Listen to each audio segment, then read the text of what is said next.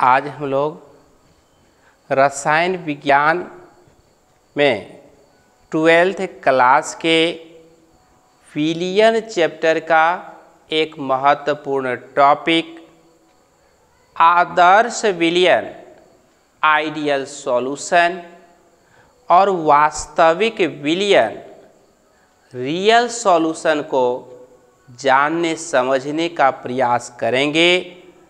साथ ही साथ राउल्ट के नियम को समझने का प्रयास करेंगे।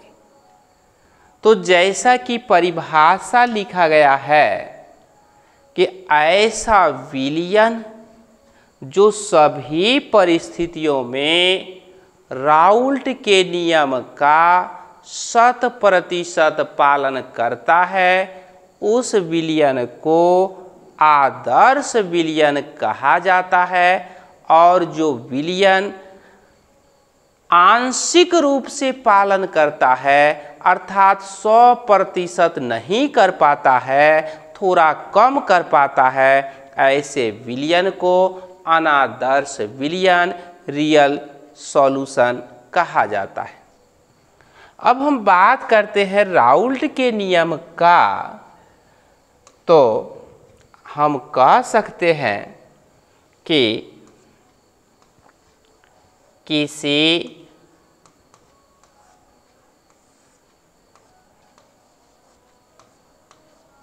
विलियन का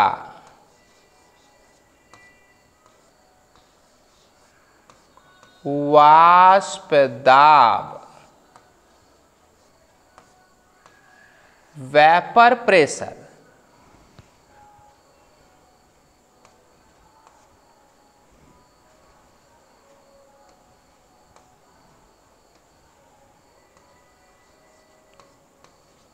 शुद्ध विलायक के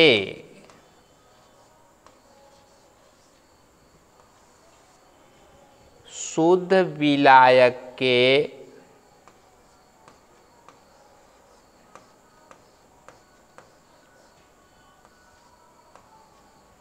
वाष्प दाब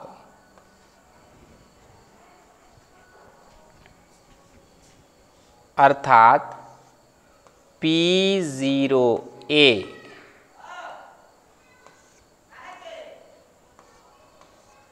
तथा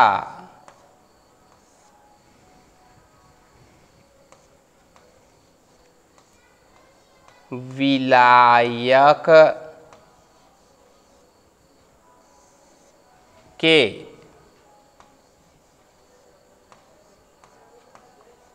मोल अंश।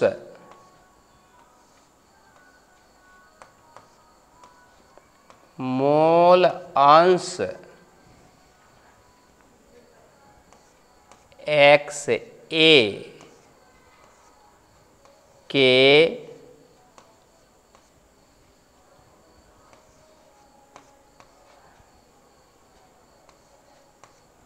गुणनफल। के बराबर होता है। बराबर होता है।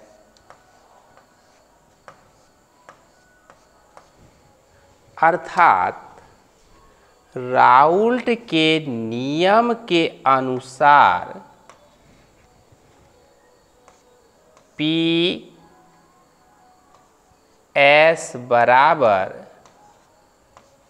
पी ए बराबर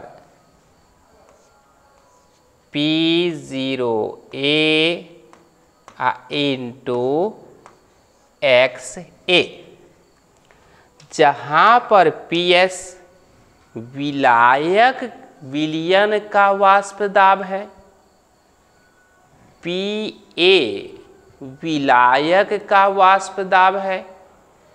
पी ज़ीरो ए शुद्ध विलायक का वाष्प दाब है।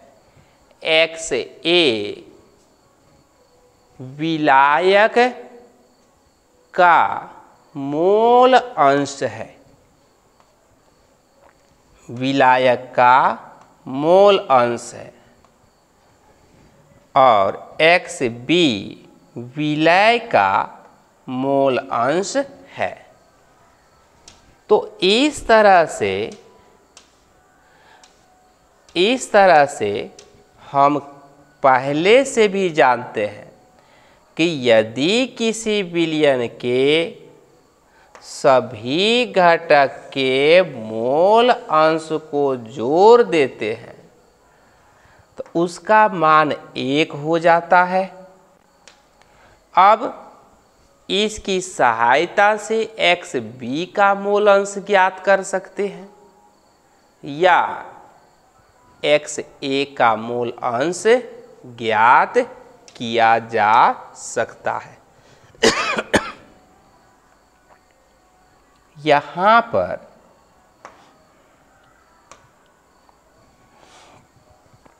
अगर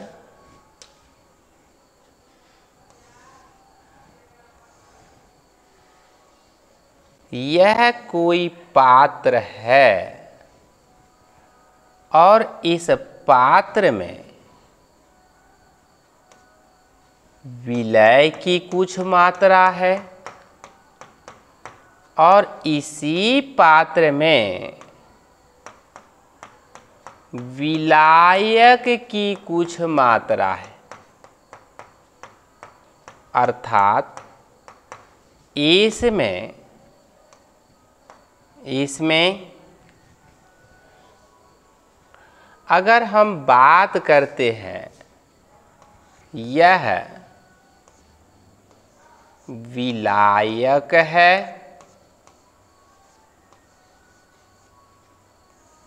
अब विलायक को ए से सूचित करते हैं। और इसमें यह विलय है। विलय है। और विलय को हम बी से सूचित करते हैं।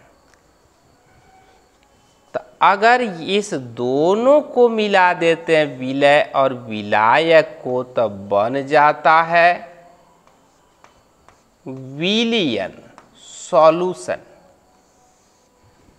अब इस विलियन का हम बात करते हैं द्रव्यमान अंश की बात करते हैं। तो इसके लिए सूत्र होता है डब्लू ए बटे W A plus W B इस सूत्र से ज्ञात कर सकते हैं। मतलब यह जो द्रव्यमान अंश है यह द्रव्यमान अंश किसका है? विलियन के। विलियन के।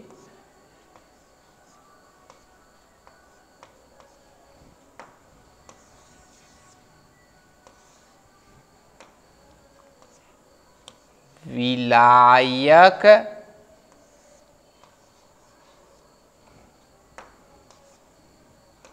विलायक का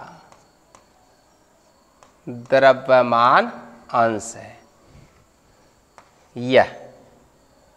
और यह विलय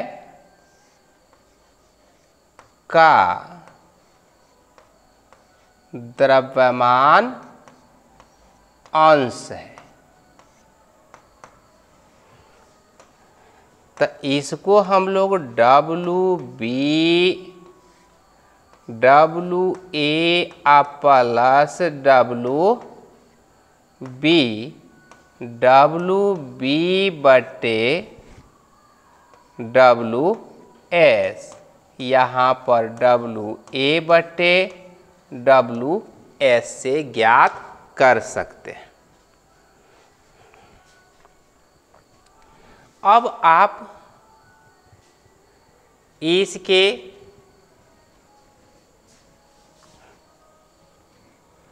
इस विलियन के अगर हम लोग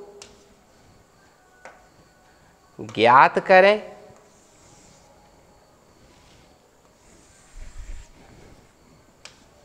ज्ञात करें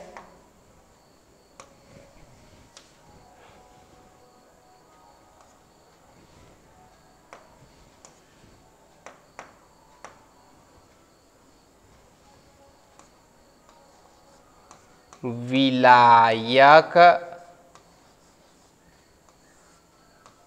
का मोल अंश